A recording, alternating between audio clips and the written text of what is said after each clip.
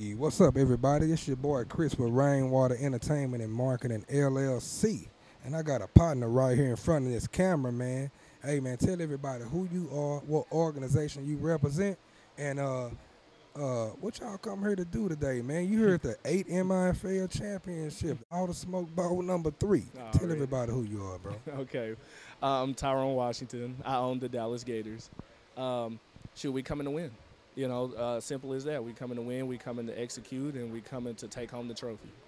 Man, and how important is this particular win with it being a first year organization here in the 8 MIFL? I think that it's probably one of the most important things because, you know, we had a rough year. Um, we weren't executing as well as I wanted us to, but we still won games. And for us to win the championship now would mean a lot because we worked really hard to get here. What type of preparation did you did you put in place for your team as far as preparing for the game today? we did a lot of mental preparation. Um, most games are won on the mental note.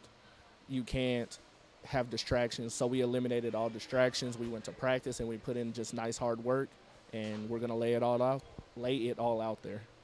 Man, did you have these? Did you set a high expectation coming into the season for yourself and for the organization to win a championship, or did you just kind of walk into it saying, uh, "We'll see how it goes. We're gonna win"? But how did you set the bar? I always set the bar high. Um, if you're not playing for a championship, you shouldn't be playing. How did your roster travel today with the fact that the game is away, is here in Tyler, Texas? Mhm. How did your team travel? Will y'all be at, at a full man roster today?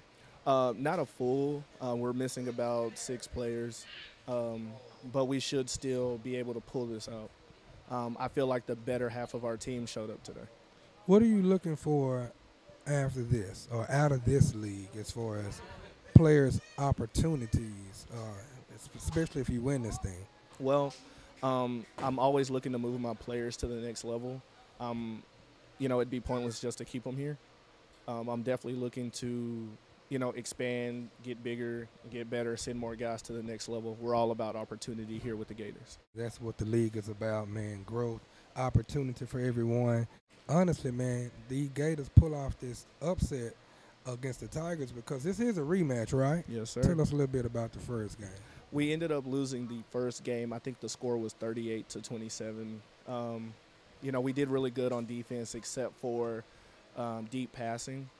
You know, we lost a lot of balls deep. Um, our DBs, our DBs weren't performing the way I needed them to, and we ended up losing. You know, it's the only loss we had, but it was a very important loss. So that even put more of a chip on y'all's shoulder for this one, huh, man? Exactly. If you can't get hype for this one, you don't even need to play, huh? Exactly right. It's enough done been said on social media, Mm. chat. It's been a few weeks since the last playoff game, Mhm. and y'all put out the who, The Waco Tornadoes, which is the defending what? the defending champions. Okay, and they say you gotta put out, you gotta beat the king to be the king. You know what I'm saying? That's what I heard. Hey man, you want to give any shout outs to your friends, family, organization, and how can people find more information about your Dallas Gators if they want to maybe try out next season or for whatever else you got going on? Um, definitely want to give a shout out to my friends and family, uh, the team, everybody in the organization. Um, we're actually going through a rebranding phase next year, so we will become the North Texas Falcons instead of the Dallas Gators next year. Um, but if you're looking to try out, easily just look at our like page, and uh, we do message people back. So just send us a message. And hey, congratulations once again, uh, coach, owner. Hey man, you're looking clean right now, brother, but you're gonna be sweating in a few minutes once that game get going and you get the hollering and screaming. So good luck to your organization. Thanks for the interview and thanks for your support here at Rainwater Entertainment and Marketing LLC in the 8 MIFL, sir. Already, thank you, man. it. Thanks.